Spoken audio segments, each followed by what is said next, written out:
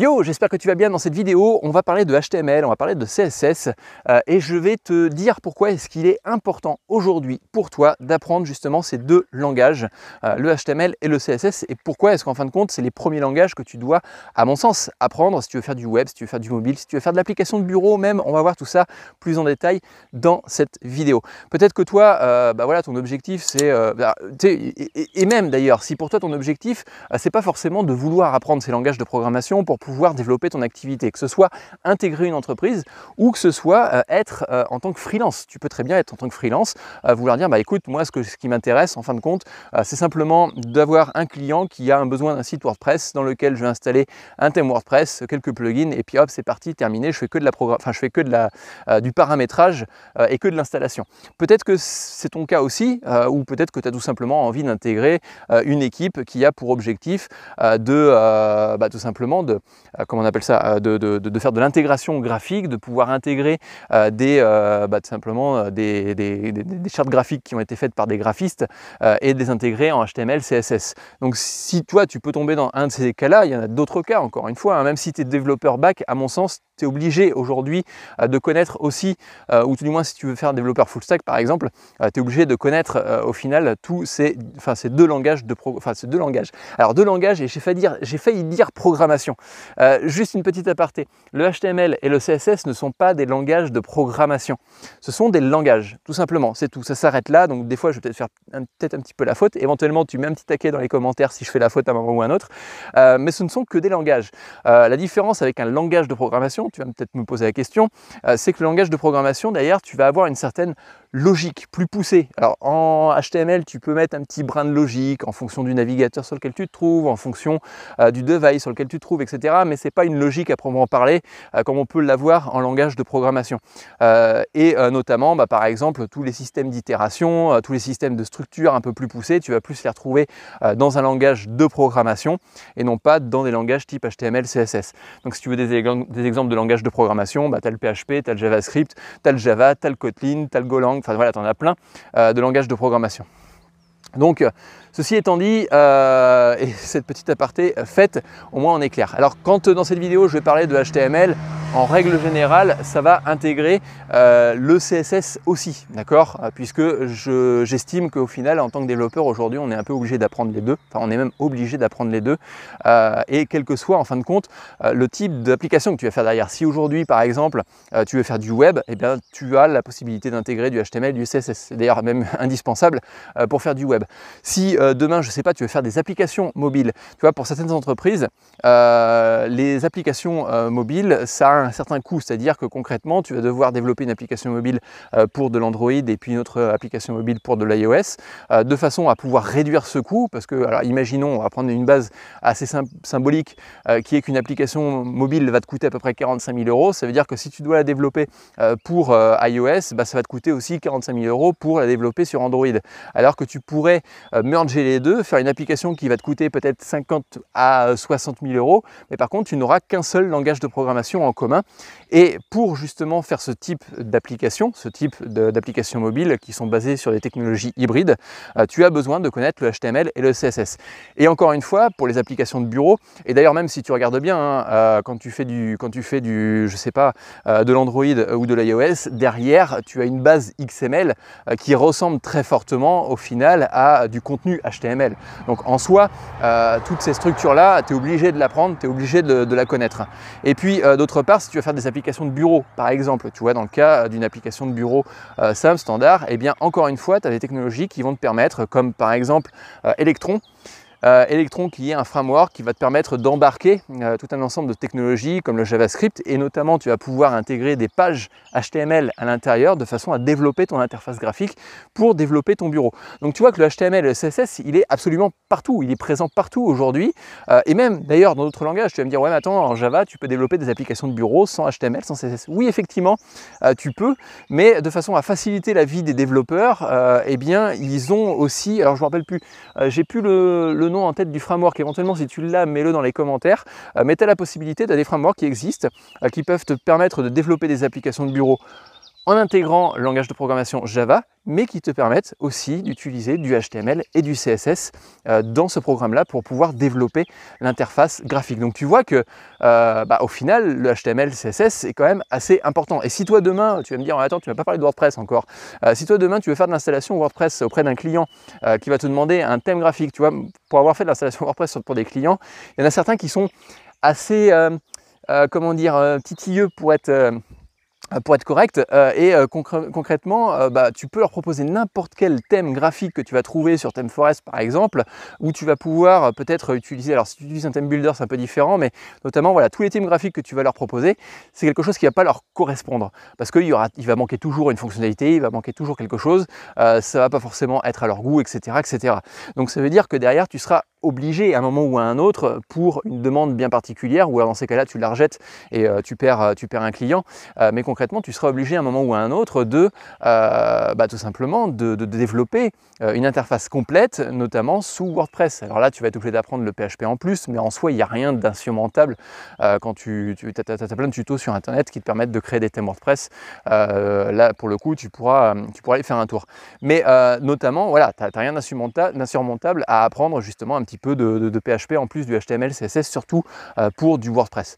Mais derrière, voilà, L'idée, c'est que tu vas avoir besoin justement de ce langage de programmation un petit peu partout.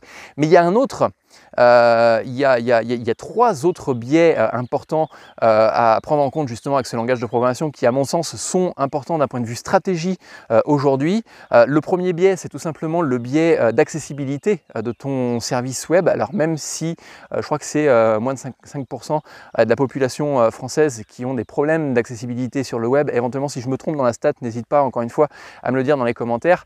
Mais concrètement, tu as à peu près 5% des personnes qui vont essayer d'accéder au web qui rencontrent des difficultés, euh, soit des difficultés de visibilité, soit des difficultés euh, auditives, etc., etc. Donc euh, concrètement, ça veut dire que ton site web doit être fait de telle sorte, doit être développé en fin de compte, de telle sorte à ce qu'il soit accessible à un maximum de personnes. C'est-à-dire que peut-être que des fois tu vas tomber, notamment tu as tous les sites du gouvernement, tous les sites... c'est une, c'est une fausse, fausse chose que je, te dis parce que le site du gouvernement n'est pas parfait en termes d'accessibilité. Des fois, il y a des trucs un petit peu, pas forcément très logiques. Mais euh, concrètement, voilà, que ce soit les sites euh, publics, par exemple, tu vas peut-être travailler sur des projets comme ceci, euh, eh bien, derrière, tu auras besoin justement de mettre en place un, code HTML qui soit suffisamment propre pour être accessible. D'autre part, donc ça c'est le premier enjeu.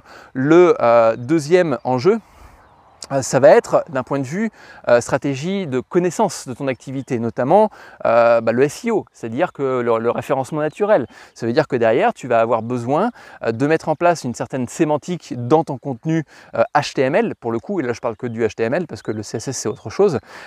tu vas avoir besoin de faire de la mise en forme, enfin de la mise en forme, de structurer ta donnée de telle sorte à ce que euh, ton contenu soit bien référencé sur les moteurs de recherche. Et pour ça, tu as plein de choses qui ont été ajoutées, notamment avec les différentes versions de HTML. Euh, notamment, alors la première version de, du HTML, je crois que c'était en 91 si je ne me trompe pas. Après, tu as une seconde version en, 2, en 94. Euh, et puis, et puis le HTML5 qui est arrivé par la suite et qui a apporté énormément de possibilités supplémentaires permettant de structurer ton site de telle sorte à ce qu'il soit le plus compréhensible aussi bien par le navigateur, mais aussi euh, par euh, les moteurs de recherche, et notamment un des plus connus qui est certainement Google, euh, et qui adore justement lire le contenu de ton site pour faire en sorte que celui-ci soit bien référencé. Alors bien évidemment, encore une fois, le, référencement, c'est une question de stratégie, c'est-à-dire que si tu bases uniquement ta stratégie sur de la publicité Facebook, effectivement à côté, le référencement, tu t'en bats un petit peu les cacahuètes, tu vois. mais concrètement, euh, deuxième enjeu, c'est le référencement. Et le troisième enjeu, euh, bah, c'est tout simplement les réseaux sociaux.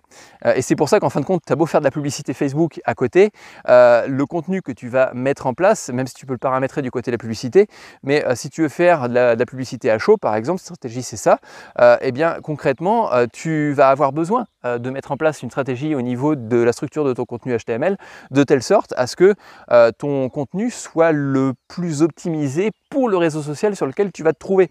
notamment bah, par exemple, on peut imaginer deux choses. Hein. Euh, imaginons que sur Twitter, tu as une communication un peu plus sérieuse, une ligne éditoriale un peu plus sérieuse que tu peux avoir, que tu peux te permettre d'avoir sur Facebook, eh bien tu vas peut-être proposer euh, deux façons d'afficher ton site, ta page précisément, avec deux stratégies différentes en termes, de, bah, en termes de contenu, en termes de description, en termes d'image, etc., etc.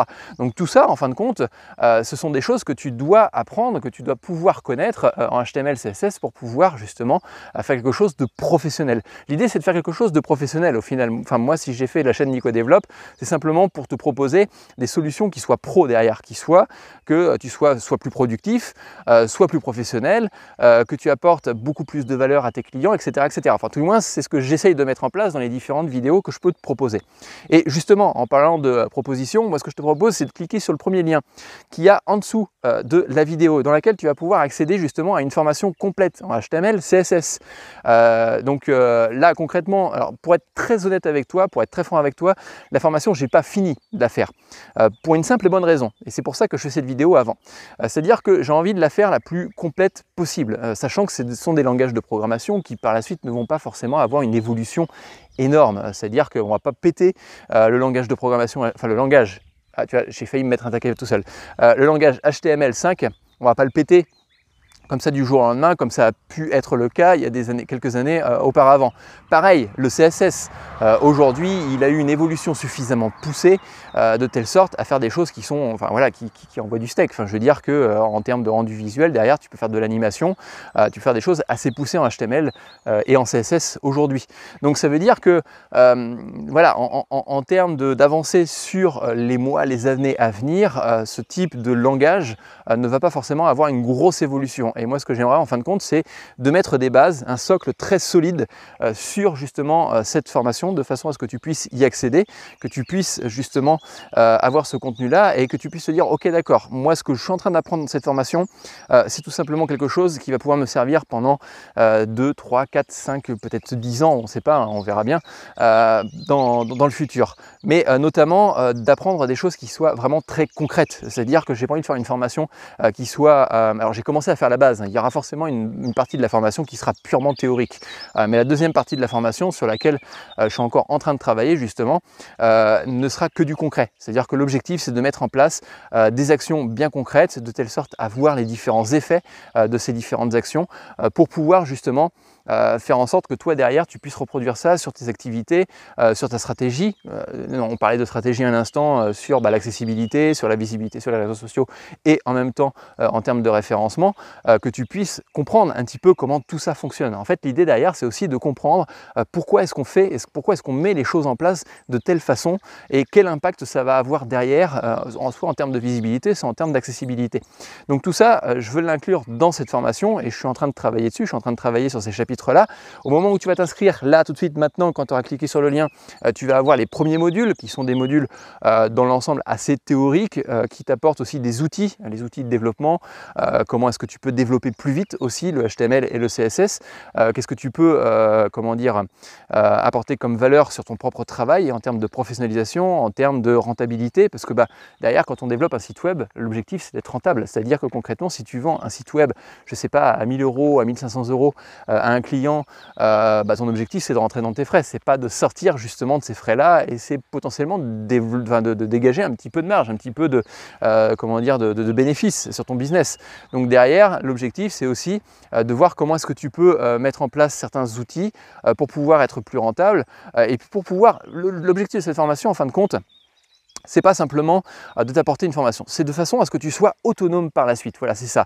Euh, parce que j'ai trouvé beaucoup de formations euh, sur Internet, notamment sur YouTube. Hein. tu peux en trouver énormément des formations sur le HTML, CSS. Ça, j'en cache pas. Après, il y a deux possibilités. La première possibilité, c'est bah, tu vas voir toutes les formations qu'il y a sur Internet et puis tu vas peut-être passer 45 heures, peut-être 70 heures à essayer d'apprendre, à essayer de comprendre le HTML, la stratégie. Je te parle quand je dis 45 à 70 heures, c'est aussi la stratégie qui se cache derrière. D'accord? C'est pas simplement d'apprendre le HTML, Ça, c'est facilement accessible, c'est rapidement euh, accessible.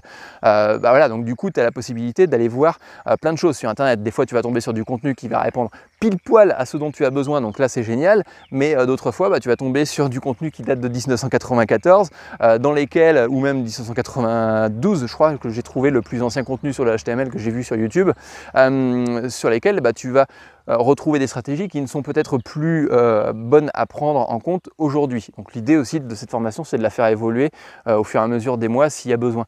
Mais L'idée euh, derrière ça, c'est que bah, dans cette première solution, tu vas peut-être passer énormément de temps. La deuxième solution, c'est de prendre un raccourci, c'est-à-dire que bah, tu es d'un point A, euh, tu connais peu ou pas du tout le HTML et le CSS, et dans ces cas-là, tu vas évoluer rapidement euh, de telle sorte à bah, tout simplement à développer tes, tes prochains sites, tes prochaines ou intégrer une équipe en termes de développement. c'est aussi une façon d'intégrer les premières entreprises, c'est-à-dire que si demain ton objectif c'est de travailler dans une entreprise, le fait de connaître le HTML, CSS, tu pourrais très bien travailler en tant qu'intégrateur web euh, dans un premier temps, de façon à pouvoir, euh, eh bien, tout simplement, de pouvoir euh, développer tes compétences futures pour pouvoir accéder peut-être à d'autres travaux en tant que développeur. Donc dans cette formation, euh, tu vas pouvoir retrouver plusieurs choses, notamment bah, dans les premiers contenus. Je mettrai des, petites mises à jour de cette euh, vidéo-là euh, au fur et à mesure que je vais avancer. L'objectif pour moi, c'est tout simplement de te proposer bah, tout simplement la partie déjà théorique dans un premier temps, les différents outils que tu vas pouvoir retrouver en tant que développeur pour pouvoir être productif, les différentes stratégies à mettre en place sur ton propre site, et puis en même temps, de, de pouvoir participer, en fin de compte, pour les premières personnes qui vont s'inscrire, pour les toutes premières personnes qui vont s'inscrire, de pouvoir participer à la conception, à la construction de cette formation par différents outils. Alors je vais peut-être mettre en place un Slack, comme ça on pourra discuter ensemble. Euh, si tu vas avoir des questions, et eh bien concrètement, euh, sur certains modules, et que je devrais refaire ces modules-là parce qu'ils n'ont pas été suffisamment euh, bons en termes de qualité, en termes de contenu, en termes de, bah, de, façon à ce que ce soit clair, eh bien dans ces cas-là, on pourra avancer là-dessus et puis potentiellement mettre en place des systèmes de questions-réponses euh, ou peut-être des problématiques particulières que tu aurais besoin euh, d'avoir et de pouvoir y répondre justement euh, dans le cadre de cette formation pour pouvoir l'enrichir. Donc voilà un petit peu l'idée de cette formation. Si ça t'intéresse, si ça te plaît, si tu adores le principe, deux choses pour toi. Première mission, bah, c'est de t'inscrire à la formation. Ça, c'est une première chose. sachant que l'accès va être très limité. Hein. Euh, concrètement, je ne sais pas encore au moment où je tourne la vidéo euh, combien de personnes euh, pourront y accéder, mais ce sera peut-être bien 5, 10 personnes, peut-être 15 maximum, parce que je n'ai pas envie d'avoir énormément de monde qui vont me poser plein de questions peut-être simultanément, et ça va être problématique pour moi. donc concrètement, première mission, c'est de t'inscrire pour toi à la formation, et puis en fonction des conditions qui sont actuellement mises en place et disponibles en dessous dans la description. Et puis la deuxième chose, eh bien, c'est de liker cette vidéo ou de me poser des questions euh, complémentaires euh, si tu veux avoir plus d'informations sur ce qu'on pourrait très bien voir ensemble euh, dans cette formation pour que tu puisses aussi bah, prendre pleine conscience en fin de compte de tout ce que tu vas apprendre. Enfin bref, en, en soi, tu prends pas trop de risques au moment où je tourne la vidéo sur cette formation-là. Voilà, sur ce, je te dis à plus tard dans une prochaine vidéo. Ciao, bye